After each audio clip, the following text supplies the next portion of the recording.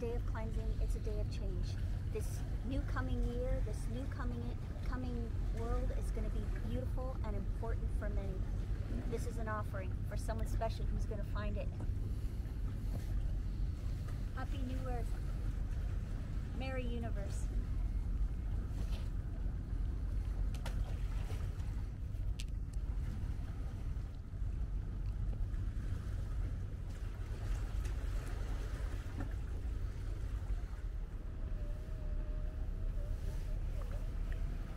Hi, I wanted to reach out and let you know that I found your message in a bottle. My partner and I were strolling along Bowen Island looking for driftwood, and I came across your bottle. The $20 was a cute gift. I'm sure I'll put it towards something special for our twin babies we are expecting in the spring. Finding your message felt almost serendipitous. The 528 hertz was nice to see. I actually offer a variety of healing energy services in my business. 528s is not something I find many people to know about.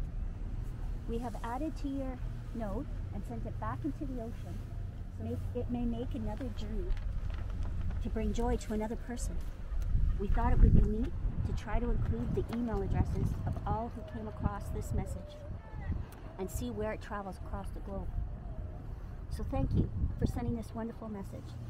And I hope you are excited to know that it will be continuing its voyage.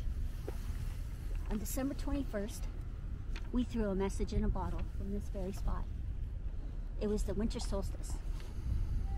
Today is February 21st, 2022. In two months, it made it five kilometers to a neighboring island, Bowen Island. And now, these wonderful people that found it is going to be expanding, amplifying that message. So expect more videos. Expect more messages in a bottle and share the love.